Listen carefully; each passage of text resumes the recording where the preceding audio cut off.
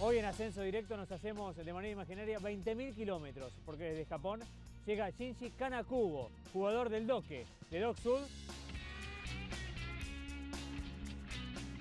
Cuando era pequeño quería jugar con la pelota y yo estaba todo el rato eh, afuera. Cuando era chiquito, yo vi un- en el tele jugando fútbol.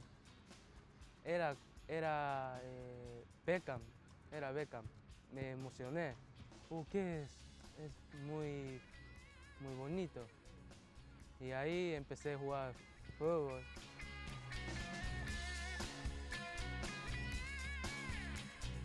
¿Jugaste en algún club en Japón, por ejemplo? Sí, sí, cuando, cuando era como tenía nueve años, más o menos. Ajá. Jugaba en un club pequeño y ahí empecé a jugar fútbol. Y después, cuando tenía 14 años, fui a España a jugar fútbol como- durante cinco años más o menos. Y después eh, a Argentina, un país de eh, fútbol. Eh, contame cómo fue ese traspaso de, de Japón a España. Me imagino un cambio enorme. Sí, lo que pasa es que yo, yo no sabía hablar es- español. Y ahí entiendo qué dicen ellos, pero yo no puedo eh, comunicar, yo no puedo hablar. Así que era muy complicado para mí. ¿Y, y a España viajaste solo? Sí, solo, solo, ¿Solo? solo. A los 14 años. Sí. Bueno, a ver, ¿cómo te llega la, la oportunidad de, de recalar en la Argentina, de llegar a la Argentina? Eh, primero encontré mi, ahora mi representante. Y ahí hablé con, él y ¿querés, querés venir a Argentina? Me dice. Y yo, claro, porque es un país eh, de fútbol y es una muy, muy linda experiencia. Así que quería venir acá. Eh, primero fui a Argentina y ahí solo entreno, entrenamiento pero me, se- me sentí cómodo allá también.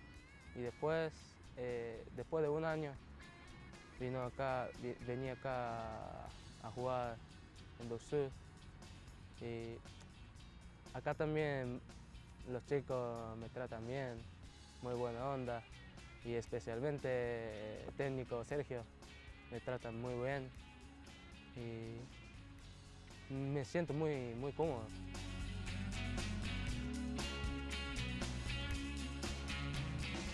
¿Por qué no quedarte en Japón y desarrollar tu carrera futbolística en Japón? eh, yo quería jugar desde chiquito como en un país de fútbol. Es muy, muy linda experiencia y por eso estoy muy agradecido a, este país, a este club, eh, obviamente a mi representante, especialmente eh, a mi familia, porque no es fácil mandar un hijo a otro país. ¿Cómo es tu vida acá? ¿Dónde vivís? en, en una pensión de jugador- jugadores. Vivo con, con, con los japoneses, con, con los colombianos, argentinos, y todo, en todos lados. ¿Cómo fue el tema de, de la comida, por ejemplo? Me, me gusta comida argentina, choripán, Ah, asado, bien ahí. sí, sí, Bife de chorizo, sí. Papa frita. me gusta. ¿En Japón hay de esas cosas? Eh, asado no, Nada. no, no. Yo comí primera vez asado, me, me emocioné. Estaba muy bueno. ¿Qué, qué comida extrañas de Japón que acá no la podés tener o no la conseguís? No, todo, como sushi. Pero acá hay sushi. No sé si es bueno. sí, eso pero ya no, vos lo es vas a otra valorar cosa, mejor. es otra cosa. Ah, no es así de sushi allá. No, no, es muy diferente. Contame cómo es el tema de, de las chicas en Argentina. ¿Cómo te está yendo? Eh, son todas muy, muy lindas para mí. ¿Japón o Argentina? ¿Quién gana ese Oh. partido?